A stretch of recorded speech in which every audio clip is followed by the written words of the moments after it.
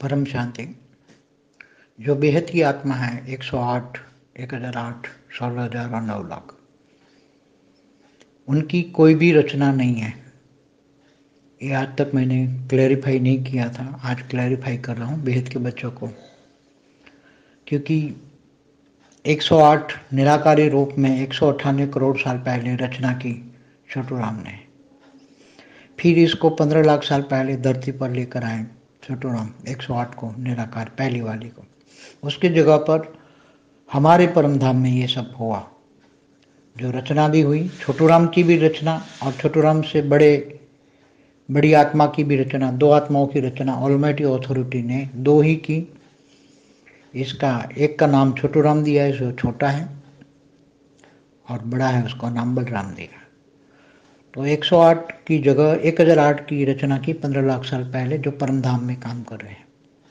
फिर बाद में उनको समय आने पर अभी नीचे एक, 108 को तो पहले से 15 लाख साल पहले नीचे लेकर आए थे छोटू राम 500 किलोमीटर ऊपर गोला बना के काम कर रहे थे अभी। 5000 किलोमीटर पे गोला बना के वहाँ 108 और 1008 दोनों काम कर रहे हैं आकारी रूप में। तो 108 और 1008 का साकारी भी रूप है और आकारी रूप है। सोलह हज़ार नौ लाख का नहीं है। और बेहद की आत्माओं ने किसी ने भी कोई रचना नहीं की। ये सभी पाँच हज़ार साल से ही साकार में आए धरती पर। जन्म मरण के चक्र में आते गए आते गए आते गए। इसलिए उन्होंने कोई भी रचना नहीं की। बाकी धरती पर जो भी मनुष्य देखते हो, जो तैतीस कोटि देवी देवता हैं, वो जी टू से आई, एक सौ अट्ठानवे करोड़ साल पहले। एक सौ अट्ठानवे करोड़ साल पहले माना ब्रह्मांड का पहला अपराध पूरा हो गया था, दूसरा अपराध तो शुरू होने की तैयारी थी। तब ऑलमाइटी बेहद के विश्व के पीएम के साथ निराकार रूप में इस ब्रह्मांड में, हमारे ब्रह्मांड में आए थे, हमारा ब्रह्मांड तब अस्त व्यस्त था। तो उसी टाइम जो पहले पराध ब्रह्मा के पचास साल पहले मतलब पहले पराध की जो देवता, असुर, मनुष्य, ये सब अस्त व्यस्त नीचे बने थे। और ब्रह्मांड में बहुत पावर लॉस था, ना के बराबर ब्रह्मांड जैसा लगता था, जैसे टूटा फूटा ब्रह्मांड ऐसा लगता था। तो आकर तुरंत जो अलमाइटी ने पहली रचना की, जिसको बलराम कहा, उसको तुरंत ही बोला, इस ब्रह्मांड को ठीक करो। उसको ड्यूटी दी ब्रह्मांड को ठीक करने की। उसने शिव ने अपने अंदर से शक्ति निकाल कर शिव शक्ति का पाठ बजाया। एक सौ अट्ठानवे करोड़ साल पूरे ब्रह्मांड की रचना की।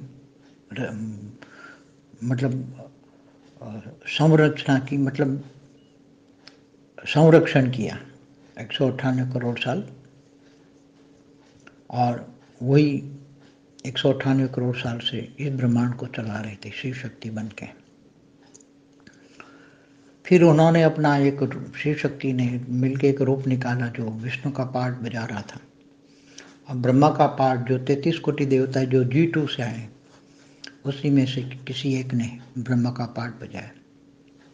तो तैतीस कोटि देवता भी जी टू से आए हैं। उन्होंने निराकारी, परमधाम में आए, फिर आकारी नीचे आते गए और उन्होंने अपने अंदर से अनेक रूप निकाल के अनेक रचना की है। तैतीस कोटि देवी देवताओं ने आकारी रूप में रहे, तब बहुत रचना की है। तो तैतीस कोटि देवी देवताओं की रचना की रचना की रचना की, रचना मल्टीप्लाई होती गई।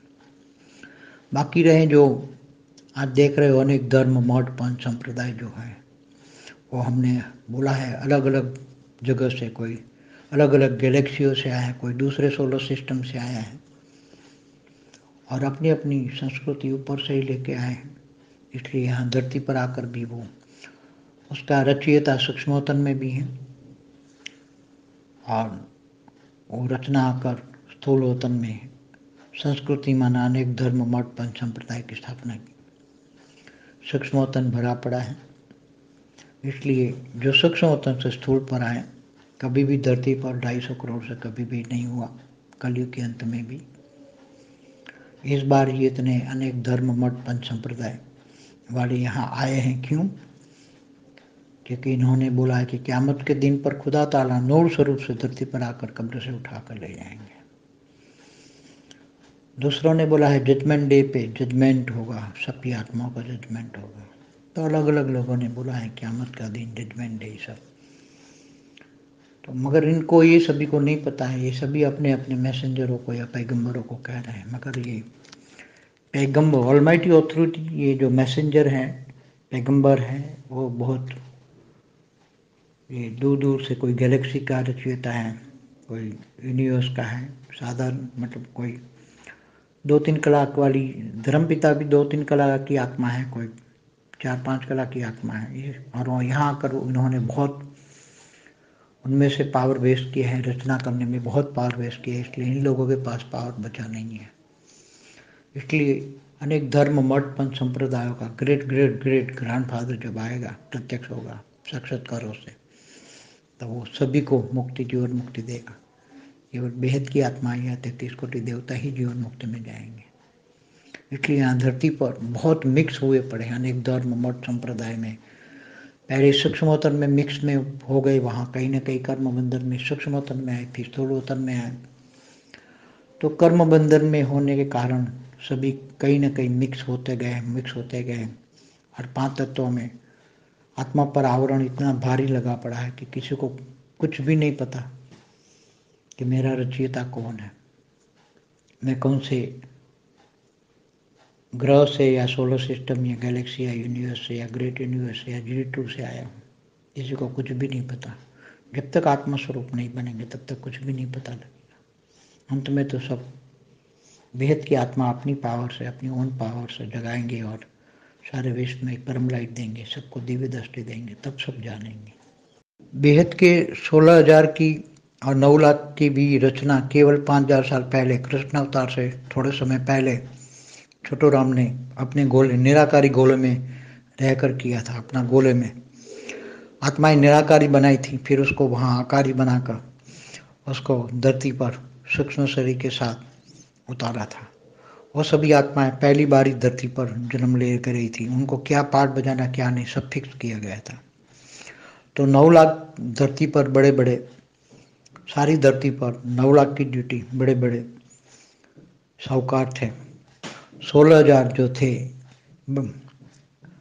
छोटे बड़े राजाओं के यहाँ मंत्री, महामंत्री थे।